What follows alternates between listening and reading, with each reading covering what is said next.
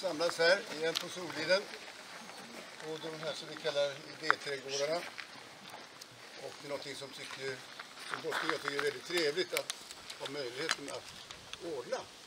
Men det är egentligen ni här som är artister som ser till att det blir så fint och spännande var, varje gång. Och, och det roliga med det här har jag känslan av att ni känner varandra.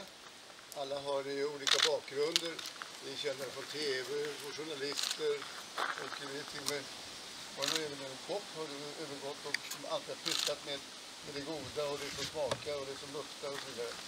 Och vi har ju en Lotta var någonstans där borta. Ja, med sina kryddor. och dessutom har nu fått chansen att jobba i, i ett runt växthus. Och eh, eh, man kan tro att ibland att växthusen är bara till för det gröna. Självfallet ja, och att man ska odla och pyssla men här är det lite mer att man kan använda ett växthus för att sitta och ha möten. Antingen med, med vänner och bekanta eller bara för sig själv. Kompletation, Underbart. Och kunna få en, en stunds vila, ja, bara för sig själv och så vidare. Och framförallt kanske, kanske när det regnar. Tänk att sitta i de här husen när det knattrar och sprakar på taket och så vidare. Det tror jag ger en extra krydda på något sätt och upplevelse. Jag tycker det är väldigt spännande. Och sen eh, tänkte jag kanske inte, ska vi avslöja någonting? Bara ingen, ingen berättar det. Va? Jag har känslan att vi, vi var ju allesammans här igår. Vi hade en liten för, förfest som, som alltid är.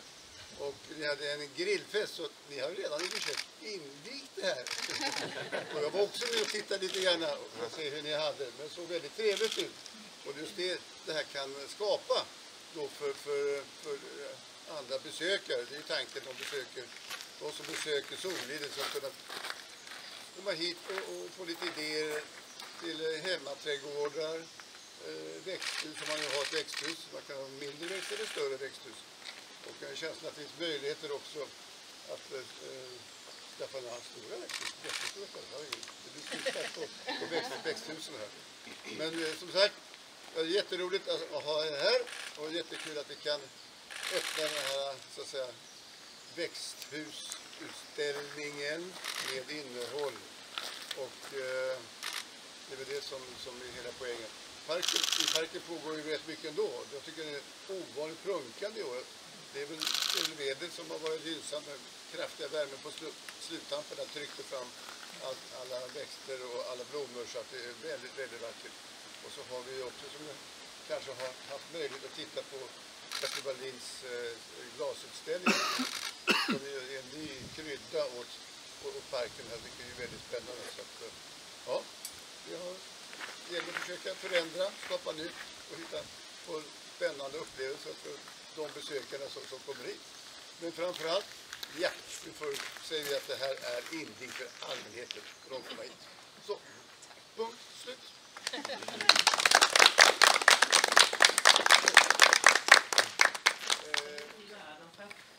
Alltså, jättemycket av de här självklara växterna, de kom ju någonstans ifrån. Och kom hit tack vare de här männen på 1700-1800-talet som, som gav faktiskt sitt liv ibland för att vi skulle få växter hit. Så den, den här...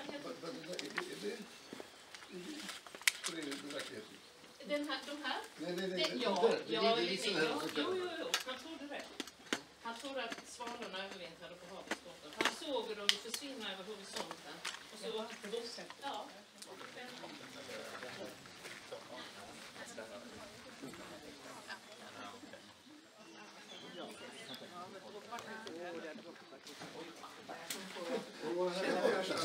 Ja, ja.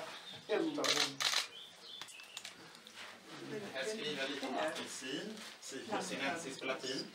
Och eh, det är ju de blommor Nu ska vi se, vilka som plantor pratar vi doftar är mest som. Det är inte många.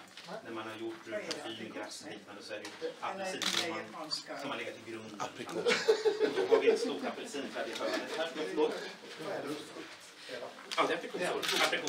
Aprikoser. Ja. Ja, är det.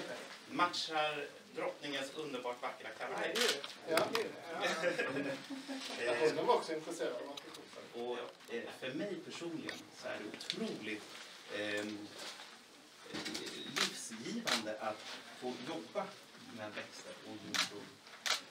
Utan det hade, hade inte jag mått så bra tror jag. Och lite många andra. Du leva, det är en, lång förväntan, en stor förväntan. Det tar ju ett år innan de, nya årgångarna kommer. Du vill vill man vill pyssla, pyssla och precis så kommer det ännu fler. Men det tar lång tid. Ingenting för den otålige. Nej, det är instant. Men det här, det här blir nästan instant i vår. Så. Ja. Ja. Ja, jag får se, jag får se för att hitta någon Gammal hemma, jag vet inte. Ja, ja så är det nog. Nej, så, så jobbar jag mycket med inredning och sån här grejer också. Mm. Och nu vill jag ju sätta, jag tycker man, det är viktigt att sätta ett växthus. Att man inte bara sätter det så. Så det här öländska muren den har liksom lite stabilitet kring det liksom, Som heter aromato. Den doftar väldigt, väldigt mycket. Det är många, många, många sorters basilika som smakar verkligen olika. Det är en, eh, ja, det är en aromatisk eh, basilika. Då har vi en wasabiört.